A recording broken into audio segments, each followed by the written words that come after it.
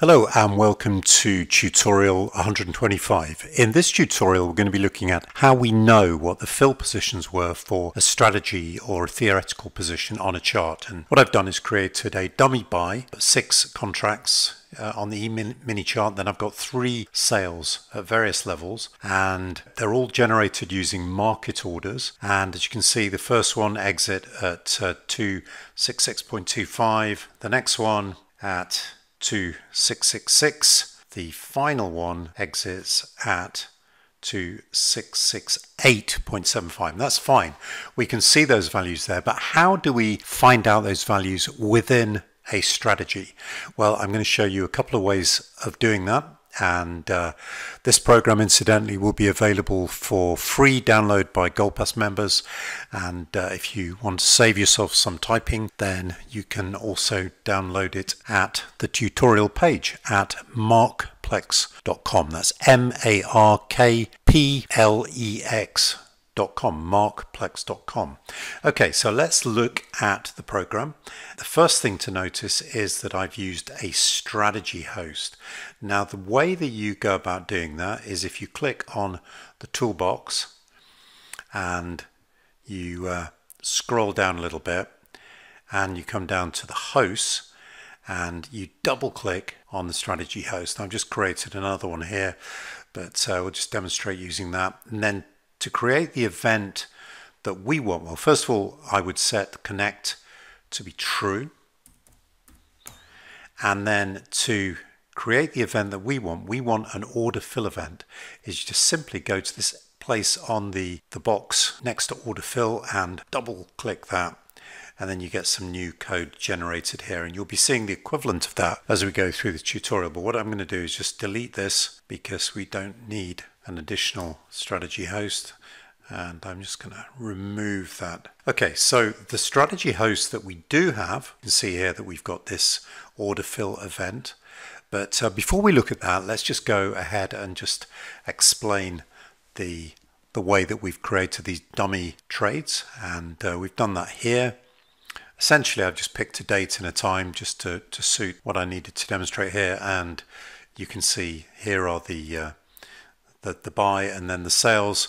Two of them are at specific times. The third one is at a specific time over a certain uh, price. And then one of the ways that we could, uh, oh, and incidentally, just go to the chart for a moment.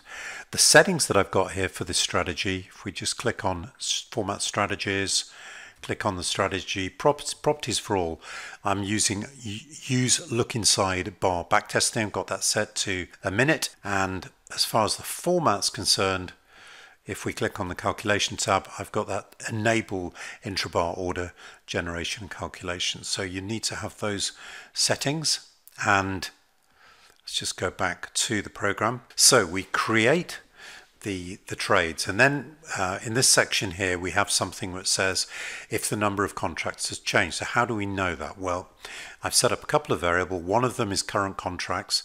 The other one is contracts last tick. Now current contracts that is equal to current contracts, as you might imagine, which is uh, a TradeStation reserved word. You can click on that, right click on that to see exactly what that does. So it basically returns a value for the, uh, the number of contracts that a, uh, a strategy is long or short. What I've also done is created something called contracts last tick or CTS last tick and I've just set that equal to current contracts or current CTS. Now both these variables if we just go to the top of the program are set up as intrabar persist variables. So essentially what CTS last tick does is it sets itself to current contracts, but then the current contracts is updated. So essentially, uh, on a chart such as this, where we've got tick by tick by tick, or um, it, we've actually got minute resolution, but it will set what the value of the current contracts was last tick. And that's how we know that we've uh, we've made a trade. Is one of the ways we know that. So I've said if the number of contracts changes, then we can uh, print out some information. And the things that I've that I'm printing out are date time, contracts sold, which is uh, CTS last tick minus current contracts, exit price, and uh, what that is, I've just put in the close, the C, because that is the value where the, uh, the sale took place and we can check that in a moment. Then I've also used this thing exit price. Now what you'll find is that that will be actually zero until we've completely exited the, uh, the trade. What I've also done for a specific bar is just printed out the, uh, the, the value of current contracts is not equal to contracts last trade. In other words, that will evaluate as true when we actually have made a trade and the value of C. So I'll be able to look at the, this a little bit more closely. So let's go to the program and just see the result of that. You'll see that for the first trade, which happens at 10 o'clock, the, uh, the number of contracts sold is 3, the exit price is 266.25. Let's just verify that. 266.25 and as I just mentioned exit price is uh, zero because that only gets populated when the trade is completely closed. Now the next trade is at 2 o'clock and it's actually at 2666 and you'll see here again the, uh, the, the program is correctly reflecting that selling one contract at that certain price and exit price is equal to zero. Now the, the, last one is a little bit more interesting because this is the uh, the bar for which I'm printing the information but we'll see that in reality this um, imaginary strategy trade exits at 2668.75 and uh, let's just see what we get here. Well uh, for this particular bar I'm printing out all the ticks and uh, if you remember just going back to the program we're looking for the first tick over 2668.5. So let's just uh, go through 266. So that is the first tick over that value. So then the next tick, we get into the trade. What uh, the information is telling us is the date, the time, the number of contracts sold, and the exit price 2668.75, which is correct. And also, because we've now completely exited position, exit price, uh, the exit price syntax will actually return a value, which does, in this case, agree with the exit price. So that is one way of finding this information. The other way uh, that I've already alluded to is using the strategy host. And this perhaps is uh, slightly simpler. And uh, essentially what we do, having created the strategy host, Using the toolbox, we then click on the events and we look for the order fill event. And then we're getting a couple of bits of information here. The first one we want to know is the order direction. And we get that using args.order direction. So if we just put in args, just so you can see how this works, and then period, you'll see that there is something called order direction. Now that order direction can be of several values. It can be buy, buy to cover, sell, sell short, and uh, we need to append in front of that strategy direction. So if that equals strategy direction dot buy, then what I'm doing is setting a string to be equal to buy. And uh, if it's equal to strategy direction dot buy to cover, then I'm setting it by space to space cover and so on. So that's the first thing we want to do. Now there's lots of other things available within the ARGs and uh, if you click the period again you can see that one of those is average price and that is what we're going to use to show the price.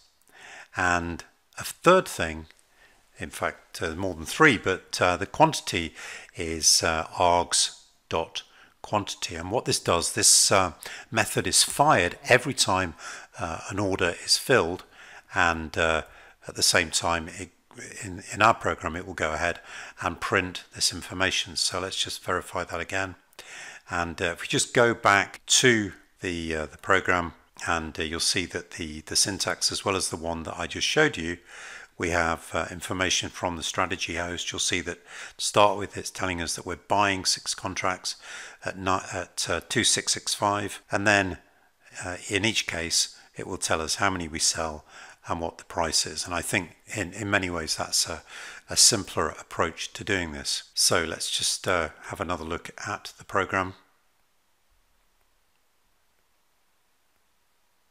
we need to load the namespace in order to use the um, strategy, uh, strategy order direction syntax.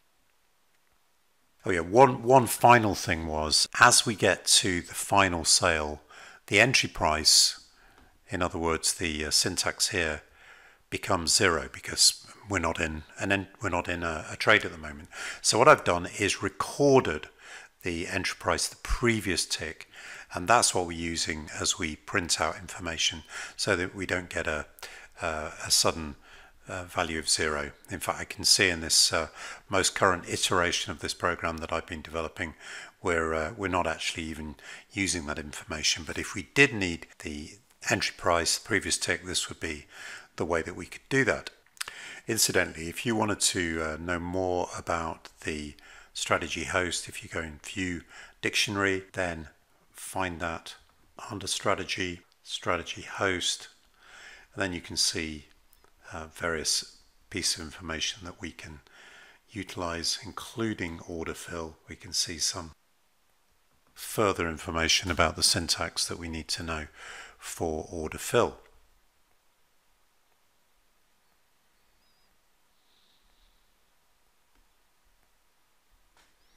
And uh, so on. So there's the uh, the information that we're getting from args, notably the the price, the quantity. We also got the we also got the order direction. Anyway, uh, I hope you might find this useful. Uh, please, uh, if I've made an error or need to explain something, please uh, please feel free to email me. Thank you very much.